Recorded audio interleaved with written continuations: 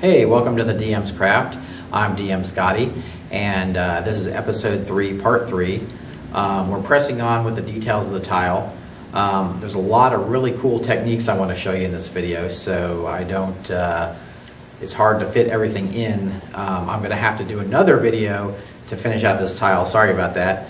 Um, but I want you to know all these techniques. Um, they're really great little uh, uh, gems that you can put on your tiles and uh, to make them really stand out. And with that, we'll get on with the with the uh, with the tile building.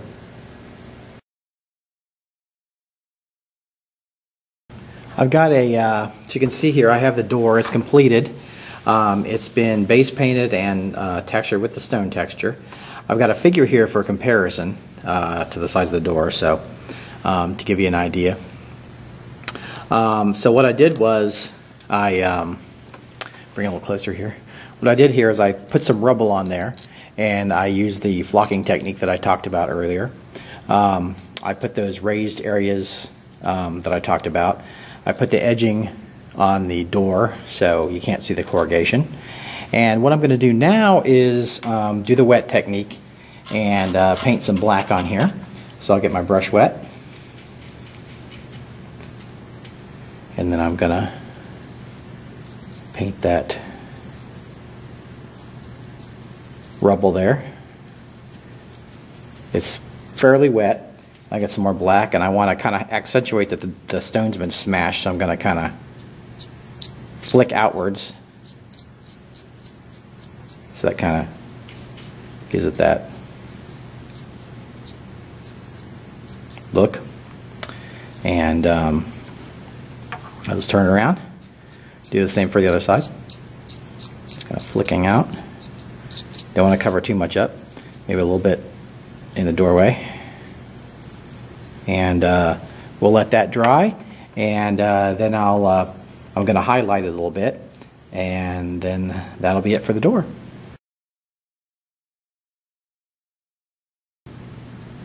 So we've let this, uh, the black wash dry. So you can see it um, looks pretty good, but um, can't really see the details much. So what I'm going to do is pick those out a bit with a light gray. So um, I'm going to lean that forward a little bit so you can see. I'm going to pick up some very light gray with this smaller brush, and then I'm going to go over the rubble and see how that pops out. Like you can see in the individual small pebbles. And then I'm going to do the same thing for the door frame and just kind of go like that. So it picks out that edge. Um, then I'm going to get the uh, the detail that I put on there, which are those little triangles, and see how those pop out a little bit. So it adds to that. You can do a little. You can also pick out this edge. So uh, that's uh, what the door looks like. And um, I'll do the other side and then we'll see what it looks like on the tile. Now I've got the doorway arch set up on the tile and you can see that you can even see the, the player character through the door. Um, it adds a nice uh, touch of dimensionality to the tile. Um, and um, I'll move the character back. And as you can see, this lifts right up, like it comes right off the tile. Um, and the reason I like to do this instead of um, just gluing it to the tile, for one, it's harder to store your tiles because there's stuff sticking up on the tile. For two, you could just take this doorway and move it um, when they go down the hall and go through another doorway, make two or three of these, and that's all you need to make. You don't need one for every room in your dungeon. As they move out of other, as they move out of places of the dungeon, and you take tiles up from the table to, to make room, then you can just use the same door. So that's a great technique um, for making uh, doorways or archways without having to make 50 of them for your dungeon. Say your dungeon has 50 doors. You don't have to make that many. Just make as many as you might need at one time. So um, that's how that works. Okay, now this is how we're going to do the cages. Um, you can see I've got some various items sitting here. Um, you see that this looks like um, bars. um, I've got two strips of cardboard, and these are just toothpicks um, stuck in through the cardboard. So um, what I did is I cut these thin strips of cardboard. These are like a quarter inch thick, um, or wide, I mean. And then um, you'll notice too that the cardboard um, is very thin, like it's about half the width of a regular piece of cardboard. And this kind of cardboard generally comes from like keyboard boxes or um, boxes that are generally inside other boxes when you get sets and that kind of thing. Um, so what I'm going to do is I'll take a couple of these pieces, like here, and then I'll just move toothpicks through them, uh, through the holes. So what I'll do is I'll uh, do the first hole. Actually, I'm going to do the second because that's near the end. And then I'll just stick it through there. And then I'll just put it through the same hole um, in the next piece. So now you'll notice one thing that's different here. Um, this, this one here has flat bottoms and this has a sharp on each end. So what I've done is, for this one, I have just um, cut off the toothpicks. So um, what I'll do is I will um, just take the toothpick and uh, take some scissors and just cut off the bottom and that's all there is to it. So when I put these in, so what I'll do is I'll measure um, two down, two holes down. Oops. Okay. So now it's all weird and everything. So what I'm going to do is I'm just going to push down um, and then you want to get these kind of even. You can um, measure if you have to uh, between the two. So, um, and uh, once you get that, once you get that in, um, all you need to do is um, take your take your glue. Uh, this is just Elmer's glue all, uh, very cheap. And then to get it to secure it, what I'll do is I'll just glue, put a dab of glue on each stick. So now that I've got that glued, I'm just going to kind of smear it so it doesn't leave a big dab. And um, once that dries, it'll be like this. Okay, so now I've got this. Um, what I can do is I can, um, I've cut these strips that um, are the width of the cell entrance. So what I'll do is you can see um, I've pre-colored these stone and the cells, I'll glue the cell, the bars, I'll cut them off I'll cut them off here and they'll glue on this stand. And that stand will stand in front of the cell. Now I've glued the base because the door was all going to be stone, but I don't want this to be stone. I want this to look like metal. So I'm going to paint this separately and then glue it on the base. Um, I'm also going to take these strips and I can put them up and down and it'll make what looks like the cell door. Okay? So and then that's all there is to it. So, um, so what I'll do is I'll look at this, and I will need to cut it here. So I will just cut that. All right. So now I've got that, that those bars. So I'll just, when I'm ready, I'll just stand those up and I'll glue it, I'll hot glue it onto the base, and that'll stand up and that'll be my cell. So um, what I'll do is I'll cut the rest of those out and um, then I'll, um, I'm going to base them black um, like I did with all the other stuff on the tile.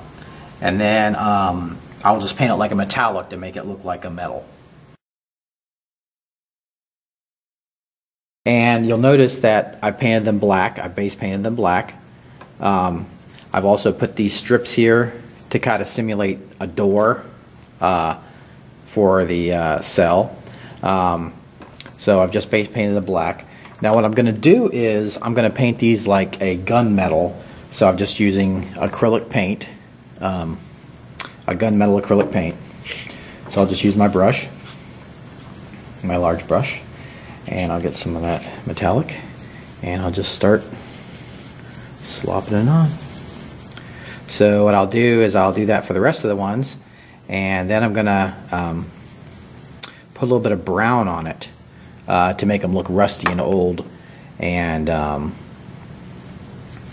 then we'll, we'll proceed from there. Now you notice also too that I have three uh, pieces. I have two that are just one long piece, and these three pieces. I'm going to make one of the tiles or one of the cells. The door hang the door has fallen down. Uh, the cell bars are bent, and this one the cell bars are just straight up. So it's going to be um, like the cell um, over time just collapsed. The bars just collapsed in and were broken into. Um, so I'll add some more interest to the tile uh, and kind of break it up. So I'll uh, finish painting these and uh, we'll move on to the next step.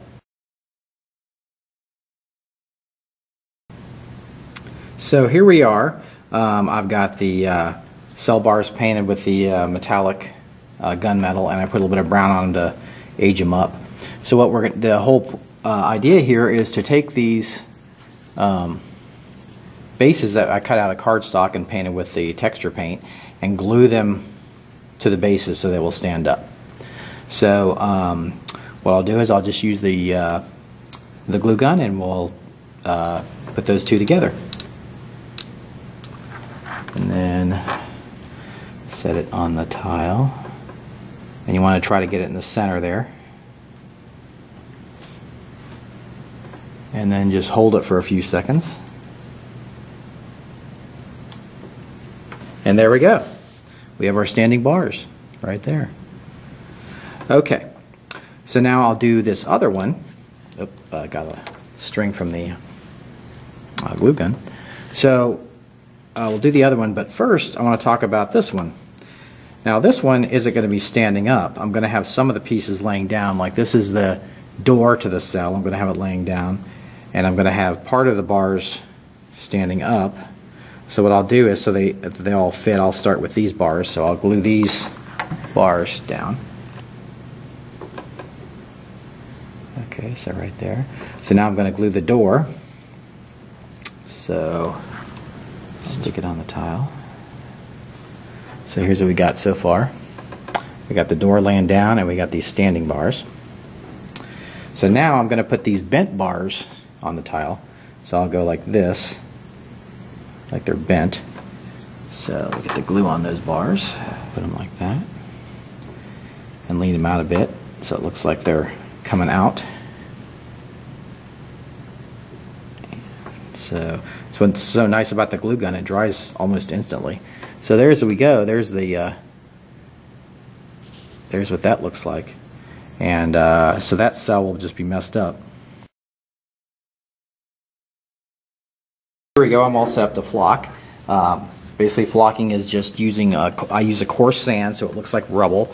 Uh, don't use the play sand, it's too small. Um, use the uh, uh, construction sand.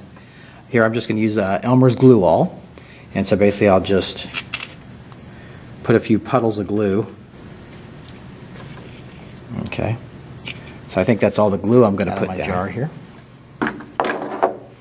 And I'm just going to pour it over the glue.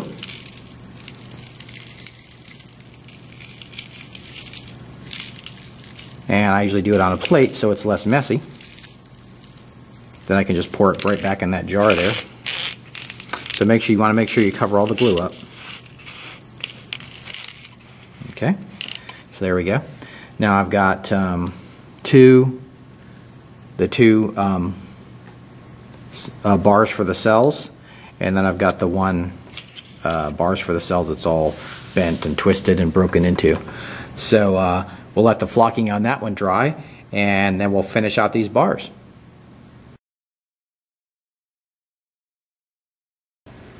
Once again, thanks for joining us. Um, I'll try to get everything finished up in the next video and you can see how the tile comes together and with all the uh, elements on the tile and how it uh, finally shapes up. So uh, we'll see you then on the DM's Craft.